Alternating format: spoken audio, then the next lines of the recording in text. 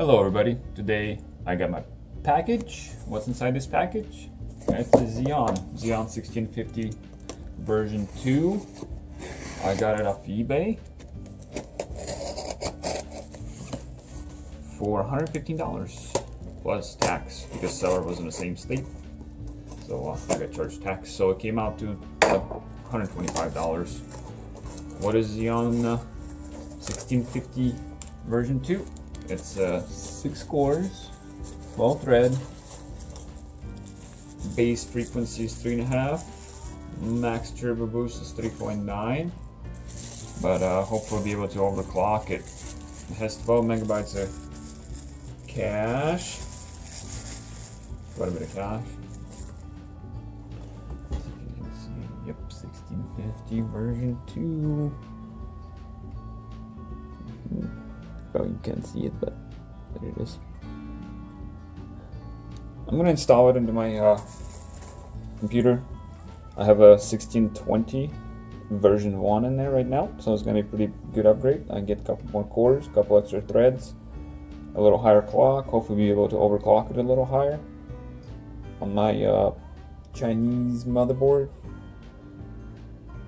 Anyways, I'll get this installed and we'll go from there.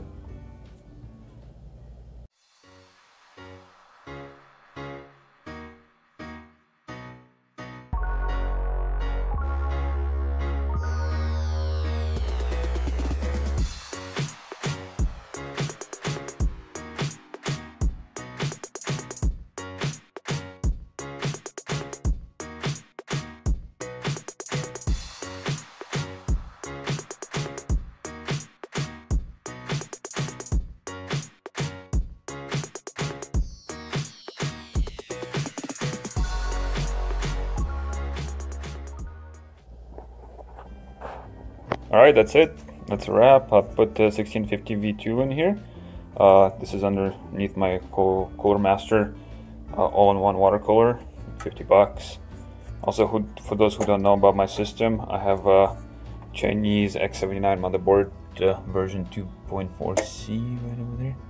You can see it. It's been good so far. I stacked it with 16 gigabytes of uh, Samsung server RAM.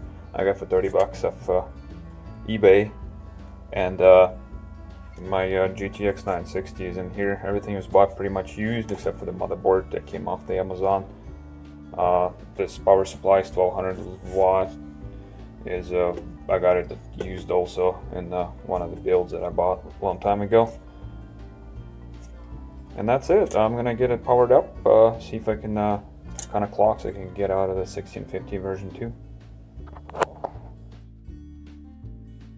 Alright, just finished up with overclocking and I'm a little bit disappointed.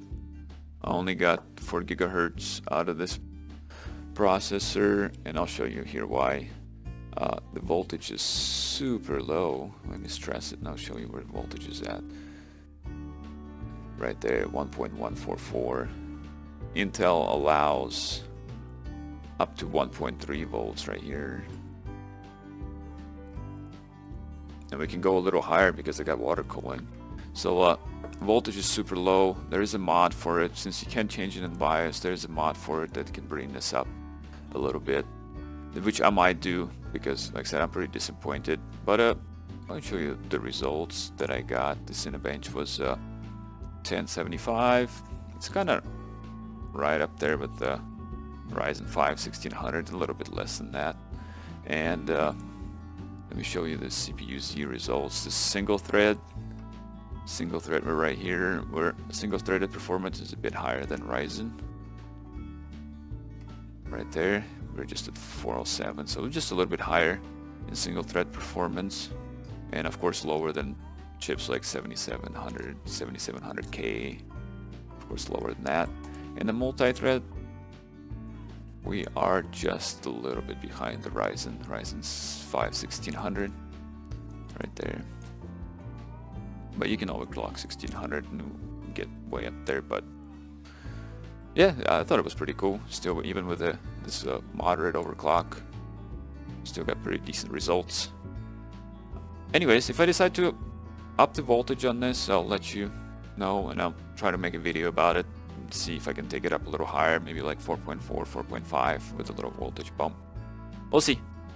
Alright guys, see you later.